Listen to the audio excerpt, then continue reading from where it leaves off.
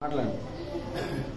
అధ్యక్షులకి మా తోటి సహోదరులకి ఇక్కడ విచ్చేసినటువంటి మన కళాకారులకి విలేకరులకి పేరు పేరున నా హృదయపూర్వక వందనాలు ఈ దినం అంటే ఇరవై ఏడు మూడు ఇరవై ఒకటి సంవత్సరం ప్రపంచ రంగస్థల దినోత్సవాన్ని వేడుకల్ని మన కాళహస్తి పట్టణంలో జరగడం జరిగింది. దీనికి అనేక మంది కళాకారులు మరుగునబడి ఈ యొక్క కాళహస్తిపట్నంలో చాలా మంది కళాకారులు ఉన్న విషయం ఇటీవలనే గ్రహించాను నేను. మన ముఖ్యంగా రషీద్ గారు అయితేనేమి రాజ్ గారు అయితేనేమి మన సింగ్ గారు దీనికి ప్రాధాన్యత వహించి నా దగ్గరకు వచ్చి అడగటం జరిగింది. నేను ఇంతమంది కళాకారులు ఉన్నట్టు ఉన్నటువంటి సమయంలో మనమందరం కూడా ఒక ఐక్యతగా నిలబడి ఒక అసోసియేషన్గా ఏర్పడాల్సిందిగా నేను మనం చేశాను. వెంటనే స్పందించినటువంటి వీరు ఈరోజు ఈ కార్యక్రమానికి ఏర్పాటు చేశారు. వాళ్ళకి నా యొక్క మనస్ఫూర్తిగా అభినందనలు తెలియజేసుకుంటున్నాను. ఈ కళారంగం అనేది ఒక ప్రవాహం లాంటిది. ఈ ప్రవాహము ఒక మడుగులో ఉన్నటువంటి నీరు మలినమైనటువంటి ఆ నీరుని ప్రవాహం వచ్చినప్పుడు ఆ మలినం అంతా కొట్టుకెళ్ళి కొత్త నీరు వచ్చి చేరుతుంది. అలాంటి ఈ కళాకారుల సంఘం కూడా కొత్త వాళ్ళు వస్తూ ఉంటారు పాత వాళ్ళు వెళ్ళిపోతూ ఉంటారు. ఇది ఒక ప్రవా ప్రవాహం లాంటిది. మా మిత్రుడు విశ్వనాథ్ రెడ్డి గారు అయినటువంటి తిరుపతి షార్ట్ ఫిల్మ్ డైరెక్టర్ గారు ఈ ప్రవాహం గురించి ఒక షార్ట్ ఫిల్మ్ తీయటం జరిగింది. అందులో నేను కూడా ఒక చిన్న పాత్ర నటించాను. ఆ ప్రవాహం నాకు అప్పుడప్పుడు ఈ కళల గురించి అనుకున్నప్పుడు అంతా జ్ఞప్తికి తెచ్చుకుంటుంటాను. ఈ కళ ఈ కళ అనేది సముద్రం లాంటిది. ఎందుకంటే ప్రతి మనిషి కార్మికుడైతేమి కర్షకుడైతేమి రైతైతేమి ఉద్యోగస్తుడైతేమి ధనికుడైతేమి ప్రతి ఒక్కరు కూడా ఈ కళని ప్రోత్సహించేది ప్రోత్సహిస్తారు.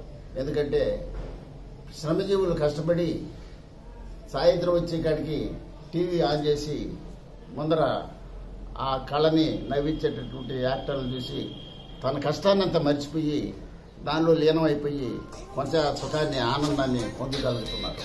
పూర్వకాలం మనకు తెలిసిందే మీకు అందరికీ. ఈ సినిమాలు నాటకాలు లేనప్పుడు అందరూ తోలుబొమ్మల ఆటలాటని కొన్ని జరిగేటివి. అప్పుడు కూడా ఈ జన జన జన జన జనసమూహం అందరూ కూడా దాంట్లో ఆనందించి తృప్తిపడేవాళ్ళు. తర్వాత నాటకం వల్ల వచ్చినాయి.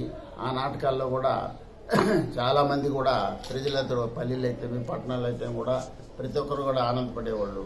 తర్వాత సినిమాలు వచ్చాయి. సినిమాలు వచ్చిన తర్వాత ఈ నాటక రంగం కనుమరుగైపోయింది. ఎందుకంటే ఈ నాటక రంగంలో చాలా మందికి ఉపాధి కోల్పోయినారు. వీళ్ళకి జీవనోపాధి సరిగా లేనందువలన దీని మీద ప్రోత్సాహం తగ్గింది. ఈ సినిమాల మీద పిచ్చి పెరిగింది. ఈరోజు ఈ టీవీ సీరియల్స్ ఈ షార్ట్ ఫిలిమ్స్ వచ్చిన దానివల్ల అనేక మంది జీవనోపాధి కలిగి దీని తద్వారా చిన్న చిన్న కార్మికులు కూడా చిన్న చిన్న యాక్టర్లు కూడా దాని ద్వారా జీ- జీవనం కల్పించుకునే దానికి దోహదపడుతూ ఉంది. కాబట్టి ఈ కళారంగంలో ఉన్నటువంటి ప్రతి ఒక్కరూ కూడా గవర్నమెంట్ వారు ఆదుకొని వీళ్ళకి ఒక ప్రాంగణం ఏర్పాటు చేసి వీళ్ళకి ఒక సదుపాయాలు చేసి కొంత ఫండ్స్ని రిలీజ్ చేయగలిగితే ఈ కళారంగం పూర్వవైభవం తేగలిగేదానికి దోహదపడుతుందని ఇందు మూలంగా మీకు అందరికీ నేను మనవి చేసుకుంటున్నాను. ప్రభుత్వం వారికి కూడా వినిపించుకునేది ఏంటంటే చాలామంది కళాకారులు పేద క- కళాకారులు చాలామంది పేద క- కళాకారులు ఉన్నారు. అటువంటి వాళ్ళు కూడా చేయూతనిచ్చి ఒక కళని మళ్ళీ దాని రూపురేఖలు దిద్దాలని మనవి చేసుకున్నాను ఈ సమయంలో మన లక్ష్మయ్య గారు అయితేమి ఆర్పిసి సింగ్ గారు అయితేమి రషీద్ గారు అయితేమి ఇక్కడికి వచ్చినటువంటి మన సోదరులందరికీ కూడా పేరు పేరున నేను హృదయపూర్వకంగా వందనాలు సమర్పించుకుంటున్నాను. కాబట్టి ప్రభుత్వం మనకు అన్ని విధాలా ఆదుకుంటుంది. అందుకని మనం అందరం కూడా ఐక్యతతో ఒక అసోసియేషన్ ఏర్పడి ఏర్పడి మనం కూడా ఒక సంఘటిత భావంతో మనం అందరం కలిసిమెలిసి చేస్తామని మీరందరి ప్రోత్సాహం ఉంటే నేను మీకు అందరికీ అండగా దండగా ఉంటానని నేను ఇందు మూలంగా మీకు అందరికీ నేను మనవి చేసుకుంటున్నాను? జై హింద్.